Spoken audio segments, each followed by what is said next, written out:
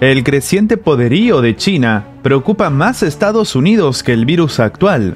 Esto ha sido revelado por una encuesta, un sondeo hecho por el canal de televisión Fox News, pero no es la única noticia con respecto a la tensa relación entre China y Estados Unidos, sino que es meritorio también hablar de cómo China, de la mano de Rusia, han logrado trabajar de manera conjunta en el aspecto más pendiente que tenían, el tema militar algo que evidentemente se ha traducido en maniobras conjuntas y también en un pronunciamiento de Rusia con respecto al tema del virus actual y cómo Estados Unidos busca politizarlo de cualquier manera. Antes de empezar, te invitamos a que te suscribas al canal si aún no lo estás, ya que actives la campana de notificación.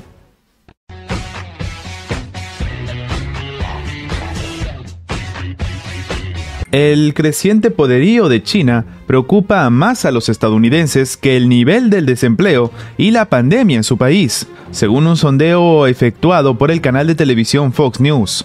A los participantes de estas preguntas les propusieron escoger una lista de los problemas aquellos que les parecían más alarmantes. En el primer momento, el puesto está la inflación y el alza de precios con un 86%.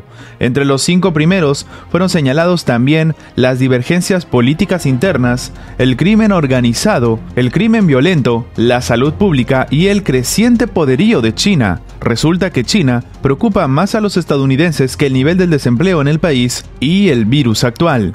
El sondeo se llevó a cabo del 7 al 10 de agosto y abarcó a 1.002 personas. El margen de error estadístico es del 3%. China figura como una amenaza en la Estrategia de Seguridad Nacional publicada por la Casa Blanca.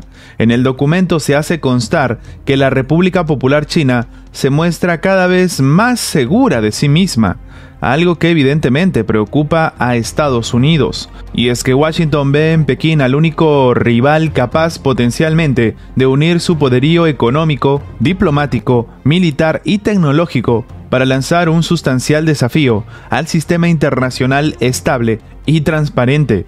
Esto evidentemente según sus propias palabras. Sin embargo, a esta ecuación también habría que sumarle Rusia, y es que el gigante euroasiático apuesta por una mayor cooperación con China en el ámbito militar.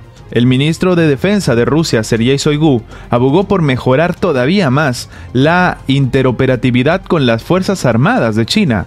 Hemos conseguido tal nivel de coordinación entre nuestras Fuerzas Armadas en mar, aire y tierra que su intensificación deviene de una actividad importante, dijo el titular ruso en una reunión con su homólogo chino, Wei Feng.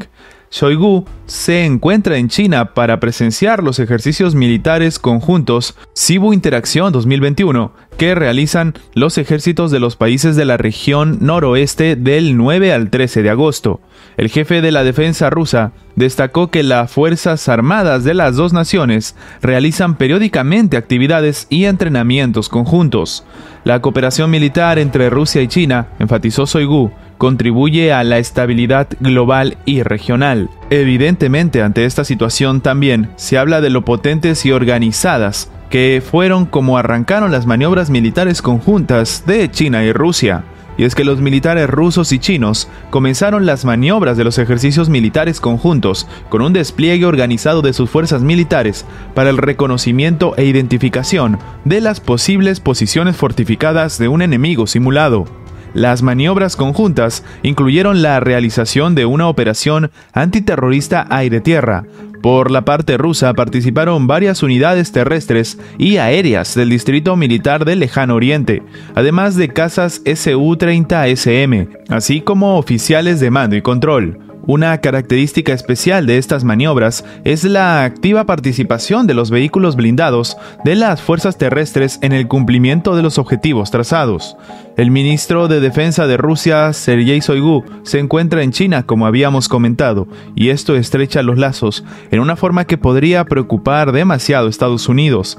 Y es que, de hecho, este panorama también va de la mano con lo que propone Rusia a la comunidad internacional, y es que un embajador ruso en China ha calificado que Rusia se opone tajantemente a los intentos de politizar el tema del origen del virus actual. Rusia rechaza cualquier intento de politizar el tema del coronavirus, según declaró el embajador ruso en China, Andrei Denisov. Rusia se opone firmemente en cualquier intento de politizar esta situación, dijo Denisov ante la prensa.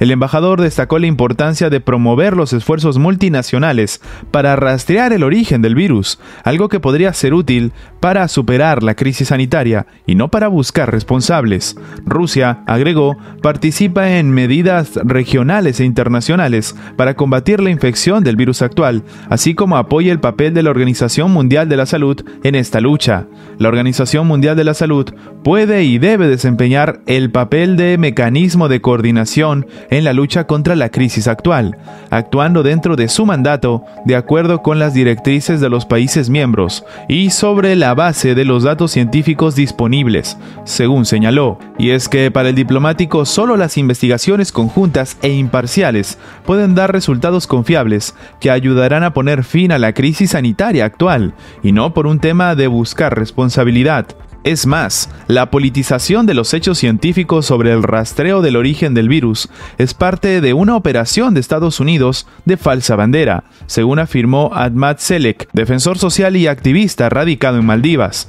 Si bien la mayoría de las naciones están cooperando y pidiendo una investigación transparente y científicamente impulsada sobre el origen del virus, Estados Unidos ha adoptado una postura firme en su enfoque para rastrear el origen de este virus, según Soraya Shakel, en su artículo publicado por el Maldives News Network, Estados Unidos ha politizado el asunto hasta tal punto que ha dado lugar a crímenes de odio antiasiáticos en Estados Unidos, según dijo Shaquel.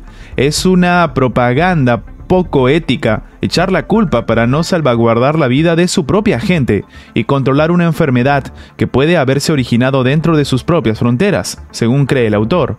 Y no solamente en las Maldivas y China suenan tales ideas. Ya en abril, el periódico financiero más grande del mundo, de Nikkei, que tiene su sede en Tokio, advirtió que los ataques antiasiáticos erosionan la imagen de Estados Unidos en el mundo, mientras la administración Biden reconstruye los lazos entre Washington con el Pacífico. El año pasado los delitos de odio contra los asiáticos denunciados a la policía aumentaron en casi un 150% en 16 ciudades más grandes de Estados Unidos, según el Centro de Estudio del Odio y Extremismo de la Universidad de California en San Bernardino. Lastimosamente, este panorama es el que nos termina arrastrando la geopolítica actual y los cálculos políticos que simplemente buscan, tal vez, meter medidas más coercitivas a los rivales de uno y otro bando. Ante este panorama, ¿qué opinas tú? ¿Es viable la alianza entre Rusia y China como una respuesta a las medidas que está ejecutando Estados Unidos y que evidentemente son válidos también los temores de la población con respecto al crecimiento del gigante asiático? Estados Unidos tiene algo que ver con este crecimiento de los crímenes de odio a sus propios pobladores de origen asiático? Déjanos tu opinión abajo en los comentarios. Y antes de terminar con el video, queremos agradecer a los miembros del canal que mantienen en pie este proyecto. Muchas gracias por su inmenso apoyo. Gracias por ver nuestro video. Recuerda que tu like nos ayuda mucho a seguir creciendo. Suscríbete para más contenido y nos vemos en la próxima.